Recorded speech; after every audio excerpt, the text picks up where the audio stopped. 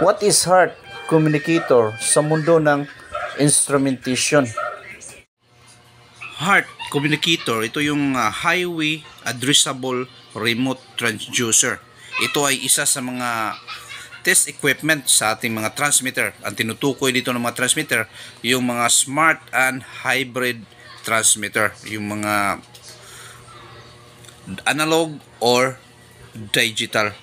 Heart is uh, widely used in a process and instrumentation system ranging from small to high application sa industriya ng automation.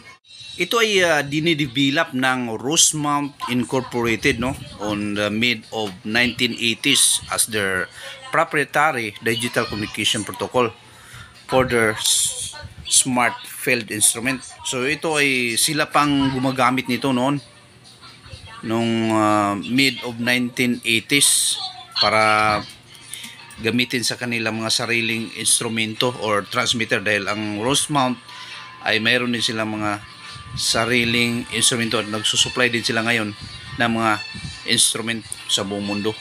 Sa paggamit ng uh, heart ay kailangan mo nang i-full charge siya bago gamitin para mas maganda yung pag-reading niya sa mga instrumento.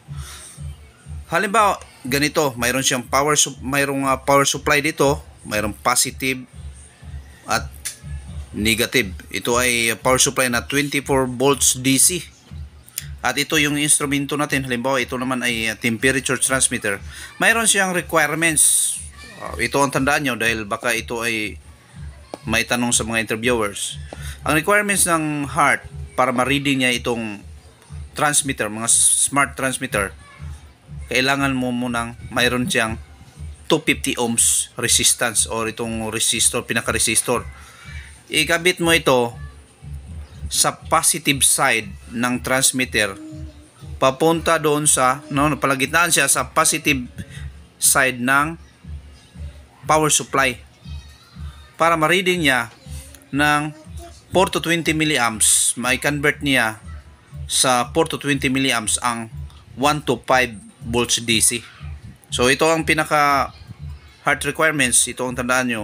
Dahil ito ang kadalasan tinatanong sa mga interviews. Itong 250 ohms resistance. Ibig sabihin, kung wala itong 250 ohms na resistance, ay hindi mo magagamit basta-basta ang heart